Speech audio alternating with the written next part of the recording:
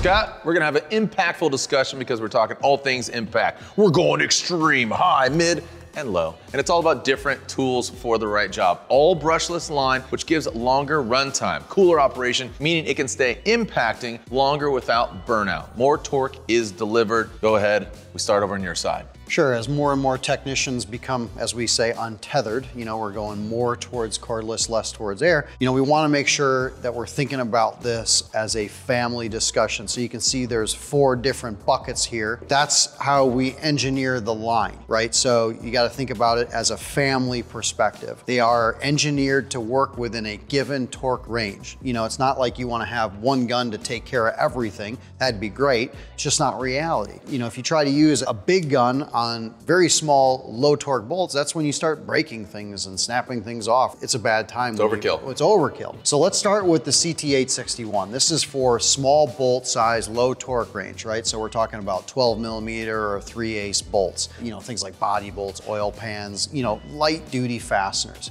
So it's real lightweight, balanced. And then there's just two varieties of it. We have the CT825, which is just a quarter inch version of it. And then the CTQ 861, which just has the quick change bit on the front end, allows you to just use interchangeable quick change bits instead. So yeah. all of these are designed for the lightweight fasteners. Moving up a little bit more, the mid torque range is CT9010. Right, so the 9010, again, brushless tool, 3 ace drive, lightweight, nice and balanced, a little heavier than the 861, but not so much as the 9050, right? But again, this is really for your mid torque range, medium sized bolts, things like suspension and engine fasteners, even lug nuts, right? So Great tool here, three power level selectors, so lets you kind of work within that torque range and being able to finesse the tool both forward and reverse. And with impact, make sure you use the right sockets as well. That is very important. We have got videos and content on that as well. We've been speaking about that forever. So jumping up from the 9010, 9050, and now Extreme, the 9080. Right, so the 9080 is the big dog of the group, of the cordless group. This is really for your extreme torque range. We're talking about getting up into this size of bolts, you know, for very large things, heavy duty applications, trucks, large vehicles, even, you know, those really stubborn stuck fasteners if you're in the rust belt, you know, trying to break things loose, especially suspension. You know, it's important to have, again, think about this as a family. You're not gonna use something like this to take off an oil pan, right? You're gonna wanna use something like the 861. You can't use the 861 to do lug nuts you want to use the 90-10 or the 90-50. So you got to think about it as a family and make sure you have the whole range of tools in your toolbox. And now let's uh, let's go have a little breath of fresh air. We're talking about air powered.